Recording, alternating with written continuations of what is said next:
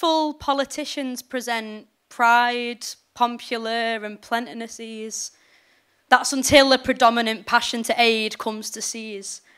By their education, most have been misled. Not to ever believe such, though, that's just how they've been bred. Yet the fear of our future's ill, they've ripped rights from things deemed wrong, conductors of will. Hinted fears at a future changing stake. Pray us we forget what's at stake, in our own fate.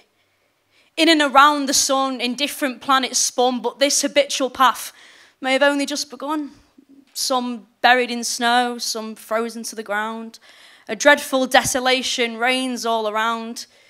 The rest still struggling with death or lay, as though they were carcass remains or unarmed prey. But the dead can't be buried where they are found. Anything they had left sold for a few extra pounds for Her Majesty's new home underground. It's God Save Our Queen, generated by the dark red eye machine. It's always God Save the Queen. It's never the ones few and far between.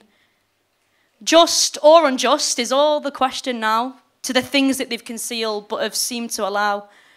Angry power prevents our present peace, or so we've been told, by the monarchs and the bollocks, the white, rich, and old. Make not a worse example of your own. Don't be the guiltless person to throw the first riot stone. Back bent and haggard, inhuman, disjointed things. You mob of cobblers, this court's only for kings. Suppose that great oppressor had us by a slight. All his laws dished your brother of his rights. New delusion won't cheat our eyes again. Rebellious arms will change our state. It's just a matter of when. Thank you.